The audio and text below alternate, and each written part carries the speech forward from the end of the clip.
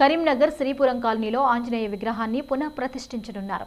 గత ఇరవై సంవత్సరాల క్రితం ఏర్పాటు చేసిన విగ్రహం శిథిలావస్థకు చేరుకోవడంతో ఆలయ కమిటీ సభ్యులు నూతన విగ్రహాన్ని తయారు చేయించారు. ఈ నెల ఇరవై ఐదవ తేదీన హనుమాన్ విగ్రహాన్ని ప్రతిష్ఠించనున్నారు. ఆంజనేయ స్వామి ఆలయం ప్రతి గ్రామంలో ఉండాలనే సంకల్పంతో ఇరవై సంవత్సరాల క్రితం ఆంజనేయ ఆలయాన్ని ఏర్పాటు చేశామని ఆలయ పూజారి వెంకటరమణాచారి తెలిపారు. ఈ నెల ఇరవై ఐదు నుండి ఇరవై ఏడవ తేదీ వరకు విగ్రహ ప్రతిష్ఠా ఉత్సవాలు నిర్వహించనున్నామని చెప్పారు.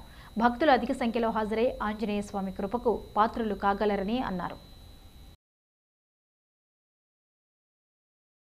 మా శ్రీపురం కాలనీలో హనుమంతుని విగ్రహాన్ని ఇరవై సంవత్సరాల క్రితం మేము స్థాపించుకున్నాము.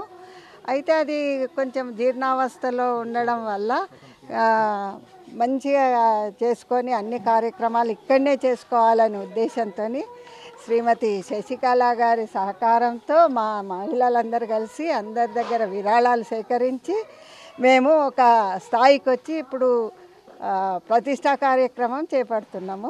మన భారతీయ సాంప్రదాయం లోపల ప్రతి గ్రామంలోనూ ఆంజనేయ స్వామి ఆలయం తప్పకుండా ఉండాలి అని చెప్పి మన భారత శాస్త్రం తదనుగుణంగా గత ఇరవై సంవత్సరాల క్రితం ఒక ఆంజనేయ స్వామి ఆలయం నిర్మాణం చేయడం జరిగింది.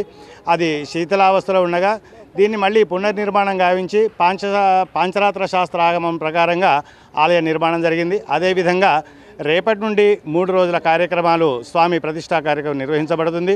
ఇందులో పాంచకుండాత్మక త్రయాన్నిక శ్రీ ఆంజనేయ స్వామి ప్రయుక్త శివ పంచాయతన ప్రయుక్త ఆదిత్యాది నవగ్రహ దేవతామూర్తుల ప్రతిష్ట నిర్వహించబడుతుంది. ఈ నిర్వహించేటువంటి కార్యక్రమం లోపల ఈ శ్రీపురం కాలనీలో ఉండేటువంటి భక్తులందరూ కూడా అధిక సంఖ్యలో పాల్గొని ప్రతిరోజు ఉదయం సాయంకాలం జరిగేటువంటి కార్యక్రమంలో పాల్గొని శ్రీ ఆంజనేయ స్వామి వారి కృపా కటాక్షములకు పాత్రలు కావాలి అని చెప్పి కాలనీవాసులందరి పక్షాన మేము తెలియజేయడం జరుగుతుంది.